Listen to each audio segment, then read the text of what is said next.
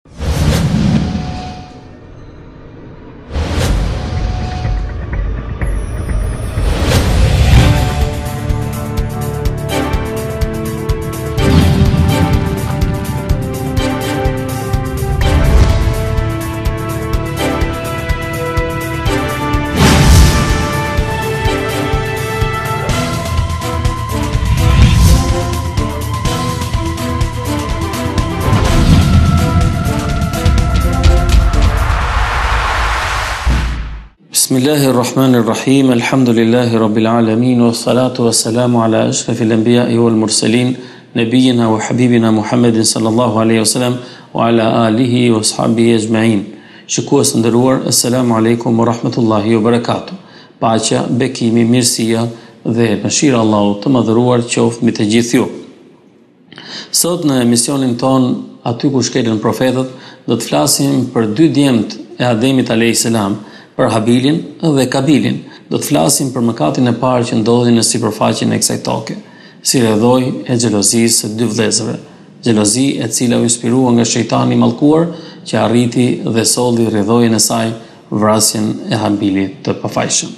Shikues të nderuar, le të ndjekim pamjet filmike për të kuptuar se çfarë ndodhi atje.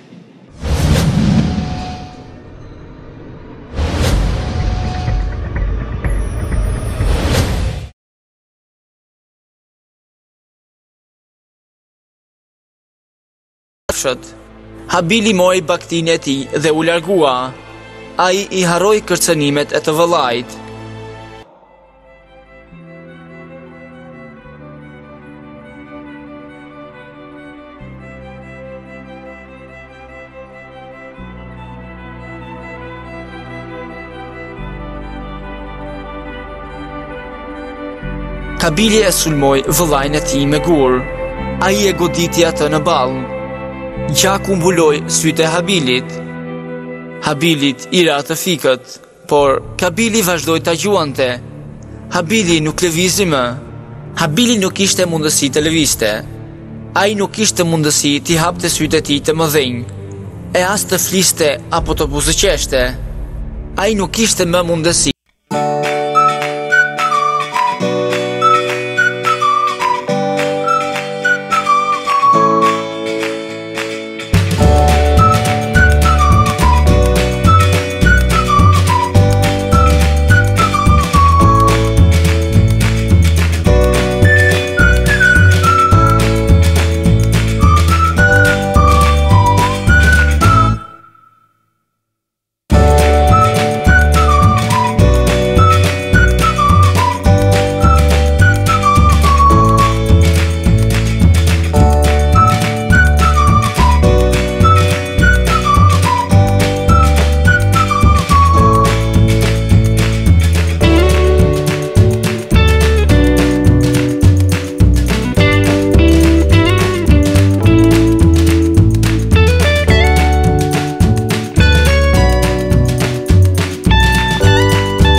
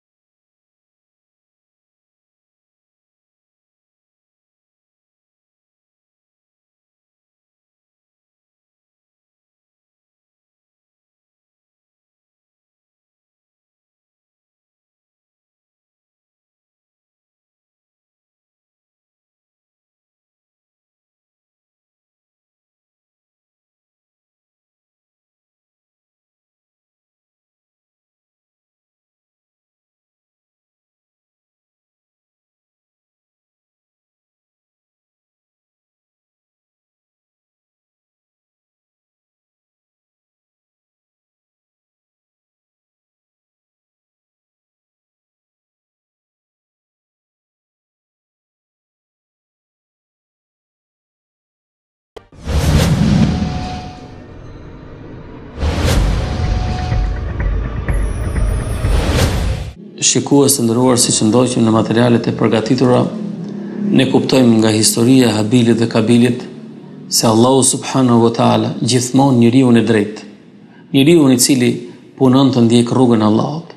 Punon të jetë i devotshëm, adhurues e Allahut, të jetë i bindur ndaj Allahut, të jetë i bindur ndaj prindërve të tij, të jetë i bindur ndaj udhëheqësve të tij, të jetë i dashur me njerëzit, të jetë i dashur me familjen e tij, të jetë i dashur në shoqërinë e tij.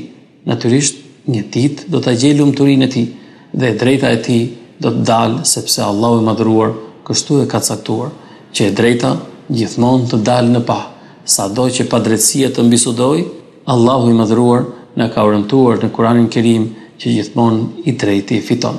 Lusim Allahun Subhanahu wa Taala na bashkojë me njerëzit e mirë, njerëzit e drejtë në botën tjetër dhe në jetën e kësaj dynjaje na japi mundësitë që ne të realizojmë dëshirat tona të mira dhe të jemi të drejtë.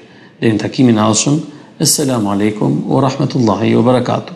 Paqja, bekimi, mirësia dhe mëshira e Allahut të Madhëruar qoftë mbi të gjithë ju.